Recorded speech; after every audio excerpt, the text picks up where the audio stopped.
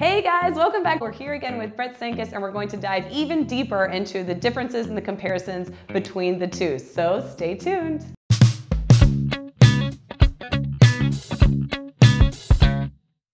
I think that there's a lot of pressure coming out of law school to work for the biggest firm that you can, to work for the biggest name that you can, with the understanding that you'll be doing a year or two of grunt work and then you can leave and do the thing you really want to do, whether that's going in house or going to a smaller boutique firm.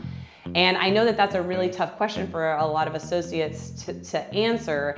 And I'm just interested if you have any thoughts on, on your path or if you would have done it differently or if your decision really worked out well. Right. Yeah. So I made exactly this decision when my second year I summered for a relatively small regional firm, very entrepreneurial, uh, former big firm uh, well, big regional firm lawyers, I great lawyers in a, in a southern city, and then a massive New York based corporate law firm.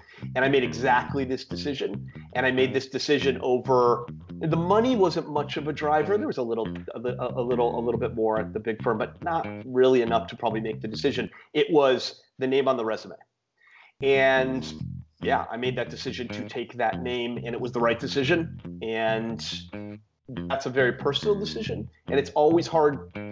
You don't want to encourage people to be miserable in life but there is the idea pay the price of pay the price of sacrifice or pay the price of regret. So some of this depends too with how much how important your career is to your overall life right? And how much you want it to be a part of it as opposed to this is the way i make money.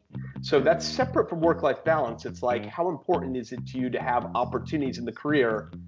Then there's a real something to be said for paying the dues and getting names on the resume early on to open up those avenues. Because the school I went to and the firm I worked for unquestionably have opened up a tremendous number of avenues to me that would not be open otherwise. I mean, it's a cluttered, busy world. We're all time starved. It's like people look at a resume and they're like, oh, right? So, um,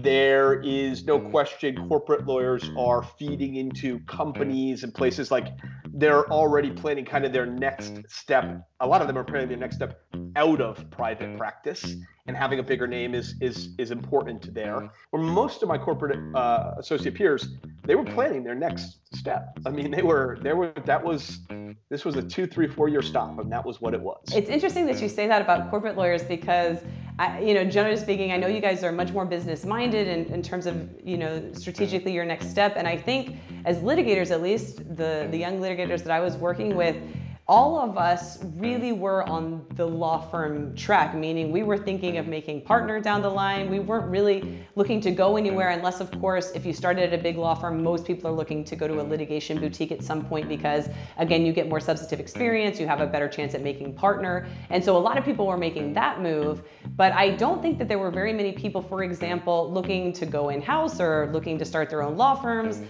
Um, looking to you know work with a government agency or a nonprofit. There were a few, but I, I don't know in terms of corporate lawyers. It's it's it's so interesting to hear that you guys are already planning your next step, and I think that's honestly a weakness of of young litigators is we don't really think outside of the law firm tunnel. You know, we're looking at making partner, and there's no real plan B if making partner doesn't work out. Thank you guys so much for watching. And again, special thanks to Brett Cenkus for coming by. I'm linking his YouTube channel in the description below, so please go check him out. He does all types of law related videos on new lawyer trainings, transactional work, especially mergers and acquisitions. So you guys should definitely go give him a look. And as usual, if you enjoyed the video, please give it a big thumbs up, comment below, share it with somebody you think would benefit from it. And if you haven't subscribed yet, go ahead and subscribe to see new videos every Tuesday. I'll see you guys in the next one. Thanks for watching. Bye.